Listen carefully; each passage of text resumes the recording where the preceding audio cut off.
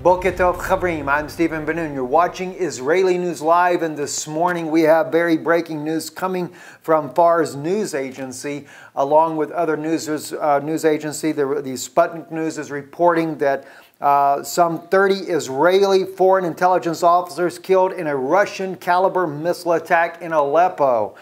And uh, according to this here, says several U.S., Turkish, Saudi, Qatari, and British officers were also killed, along with Israeli officers. The foreign officers who were killed in Aleppo operations room were directing the terrorist attacks in Aleppo. Guys, this is very concerning that we're hearing this type of news coming out of uh, Syria uh, this morning, and it is also being very hush hush in Western media. And the reason it is being hush hush in Western media is because the question has to be asked what are Israeli officers doing there? What are U.S. officers, Turkish, Saudi, Qatari, and British officers doing there? As I have stated all along, it is nothing but a false coup that happened in Turkey under, the, under Erdogan. I believe it was orchestrated by the United States along with President Erdogan in order to get Turkish military forces and boots on the ground there. And now we see that the U.S., the Turkish, the Saudis, the Qataris, the British, and the Israeli officers are all inside this secret place here coordinating terror attacks inside of Syria. And although I love my countrymen, both U.S. and Israeli uh, countrymen there, is still what are we doing in Saudi Arabia? And I, I want to state this because I know there's going to be many that are going to be concerned about uh, the fact that this news has happened. It's going to be a cry from the West to bring about war against Russia. But you have to understand, Russia is actually trying to stop this whole rebel force that's going on and this whole so called moderate rebels is trying to overthrow the country. But I am not the only voice from the United States that is sounding this alarm that we have no business to be in Syria. They have demonized uh, President Bashar al Assad as being some kind of madman, gassing and using incendiary devices, etc., on his people, only to find out that it's to the contrary. Even Eren Erdem, the former Turkish uh, MP member of the parliament in Turkey, he was the first one to reveal that the 2013 gas attacks that happened in Syria were never conducted by Bashar al Assad, but it was coordinated with the West, smuggling in chemical weapons from Europe into Turkey through Turkey, and Turkey's court turned a blind eye. They replaced the judges, everything, slipped in the chemical weapons, did the attack so that they could blame it on Bashar al Assad. And we're finding out similar things again with this situation that is happening even now with incendiary devices that it is not Russia that's doing it, but we're finding that even recently Saudi Arabia also they've been given phosphorus uh, munitions. They're using it against the people in, uh, in, in, Yemen, and as well those things are coming into the hands of, of the groups inside of Syria, being used against the civilians only to build a momentous campaign, media campaign in the West to try to demonize the Syrian people. And one thing I might add to that, and this is what we're going to close out this news broadcast with, I want you to hear this here is a panel. I'm only using three of the five that are in there, but I want you to listen to what a U.S. led delegation that went to Syria firsthand, went to Damascus, and found out that it was nothing but a bunch of lies and propaganda by the U.S. government that is controlled by the U.S. corporate media to demonize Syria and to make it look like as if the Assad was a regime and was trying to, to, to just dictate over his people.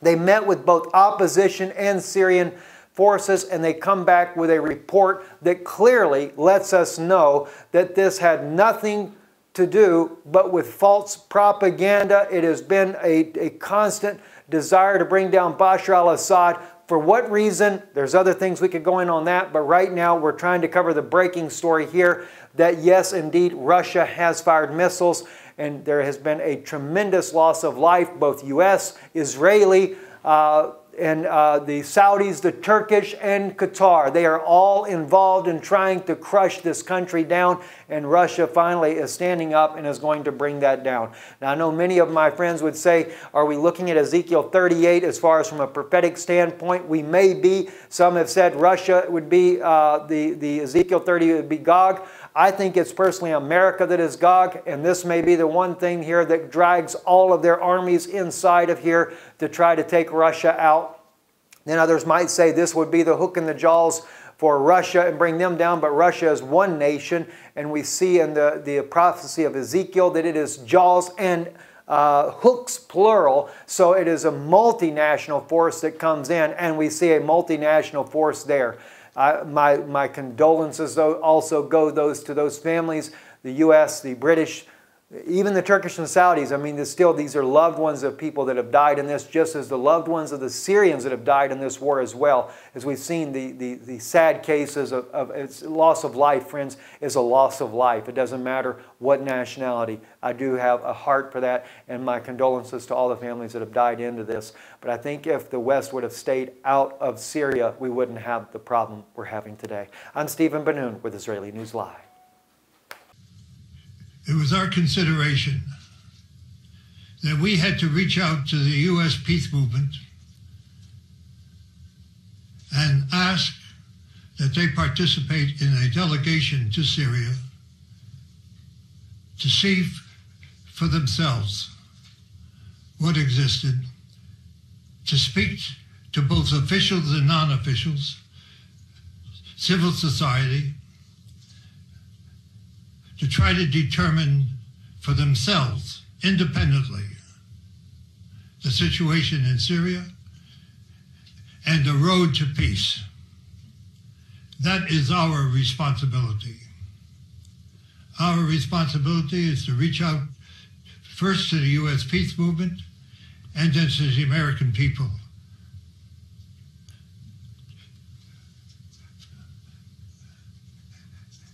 The campaign to confuse the American people has been intense. And it is our purpose to try to bring some light, some understanding,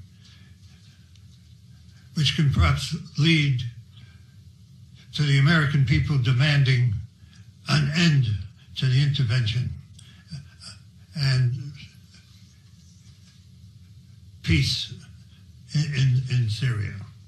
What Alfred said is so true. We are fighting a mass of propaganda that has demonized the Syrian government, demonized its leaders, a, an effort that precedes every other intervention that the United States has made over the course of many, many decades in order to convince people that it's okay for quote unquote humanitarian reasons to overthrow a government and to replace it with whatever. The United States prefers uh, a government that is not independent, that is a willing uh, participant in what the U.S., whatever U.S. policy is. So what we saw in, in Damascus and what we saw in the two villages we visited outside Damascus belies the propaganda that has um, overwhelmed us. It's hard. It, it, it's hard for even those of us who have been in the peace movement for a long time. It's hard for us to ignore this propaganda. It is so uh, well orchestrated. Work together, coming back in cooperation to try to bring the message and the truth back to the United States. Um, as an American citizen, it is shameful for me uh, to admit what my government is doing in the sovereign country of Syria. Uh, we have no right to impose these illegal sanctions. In fact, these sanctions, allegedly, the government says are against the, the, the government of Syria, but in fact, it's against the people, civil society, people who are attempting to maintain uh, the infrastructure, the health care, the safety of all Syrian people. one of the things that um, stood out to me is not only the, the lack of medication and the fact that Syrian children are dying because they can't get chemotherapy meds into the country because of the illegal sanctions that the U.S. and the West has imposed. Uh, also, it's they're not allowing parts and uh, material to get to businesses who are uh, trying to maintain, and they're trying to maintain for more than one reason, and not just to to to keep continue to make money, but to employ people, because when people have no way to earn a living, they become desperate. And we know that some of the Syrian people who may have chosen to join the terrorists mostly for economic reasons because they couldn't earn a living. And their benefactors, the US and all the others who are collaborating together to fund this terrorism, are paying people very well to, main, to, to, to participate in this illegal activity against the Syrian people.